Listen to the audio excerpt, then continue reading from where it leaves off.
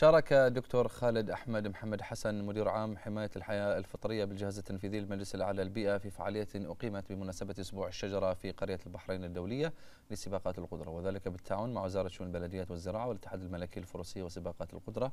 وفي هذا الصدد أشاد المدير العام اعتماد أسبوع الشجرة مؤكدا أهميته في تعزيز جهود خطة التشجير والتي تهدف إلى مضاعفة عدد الأشجار في مملكة البحرين إلى أكثر من ثلاثة ملايين شجرة بحلول عام 2035 تماشيا مع التزامات المملكة باتفاقية الأمم المتحدة الإطارية بشأن تغير المناخ. كما أكد الدكتور خالد أحمد أهمية أسبوع الشجرة في تعزيز الأمن البيئي وترسيخ ثقافة حماية البيئة عبر زيادة الرقعة الخضراء بمملكة البحرين لما له من أثر بالغ في جهود الحفاظ على البيئة واستدامة مواردها من خلال تنفيذ المبادرات والسياسات الكفيلة بضمان مستقبل أكثر أمانا وجودة للجميع. طبعا اليوم إحنا آه، شرفنا وضع آه، آه، شاركنا في أسبوع الشجره في زراعة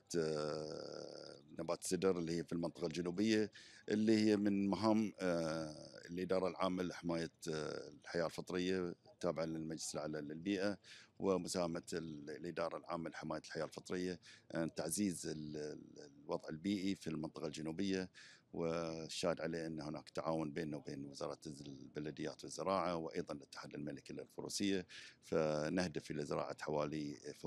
5000 إلى 6000 شجيرة من شجر سدر اللي هي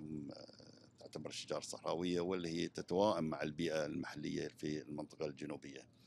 آه، نهدف طبعا إلى تفعيل رؤى آه، الحكومة آه، في تعزيز الخضار في المنطقة الجنوبية وتعزيز الوضع الحياة الفطرية في المنطقة واللي تشمل النوعيات معينة ومخصصة في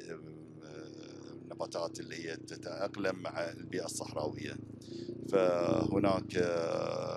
خطة